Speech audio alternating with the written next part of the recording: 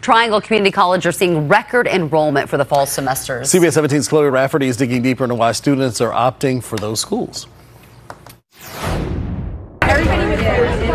Arts, academics, and sports. Opportunities offered to students at Wake Tech as they celebrate Welcome Week. I'm currently following a STEM pathway.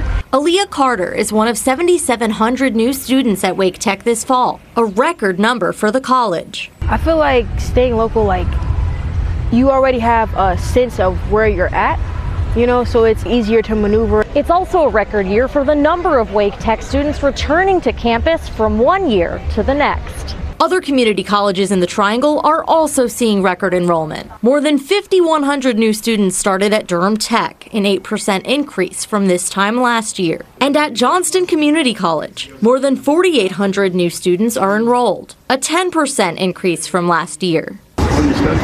Wake Tech president Dr. Scott Ralls says one reason for this is the growing population in the Triangle. Another reason is affordability. There was a time when community colleges lost more students than any other sector. So now I think we're also seeing students come back and seeing that this is a really good time to come back after those difficult years we had with COVID. Mainly because of like the price.